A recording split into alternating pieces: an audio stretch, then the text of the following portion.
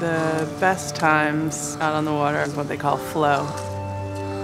You're not really thinking about what you're doing. Everything's happening automatically, and your mind can drift off to another state.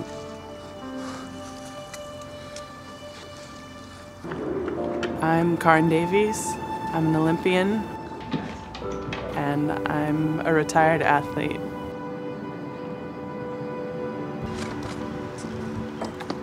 I still use physical fitness and sports to unwind and clear my head. One of my favorite things to do is just get out in a single on a really calm day.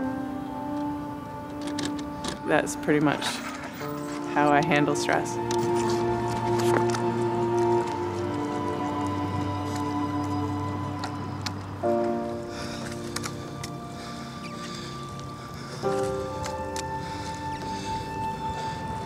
I've been to three Olympics and I still don't feel like I could put my finger on what exactly is so special about it.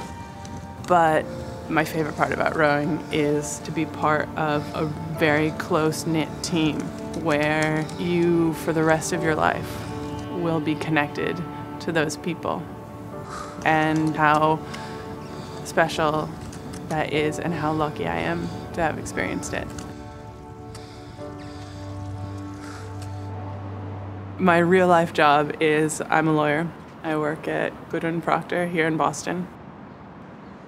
I was really worried that stepping away from rowing, stepping away from elite sports, that I wouldn't be happy, that I wouldn't be getting enough sleep, I wouldn't be eating right. But I've been able also to stay fit, I've taken up boxing.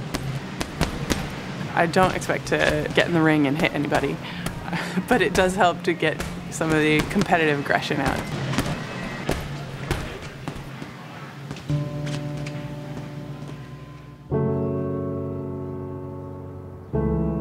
Having one goal, training for the Olympics, guided every decision in my life for so many years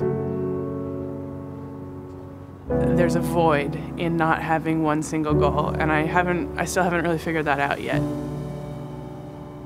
In the meantime, I've been catching up on all the things that I didn't get to do while I was training. And I'm still I'm still looking for my next passion. We'll see what's next.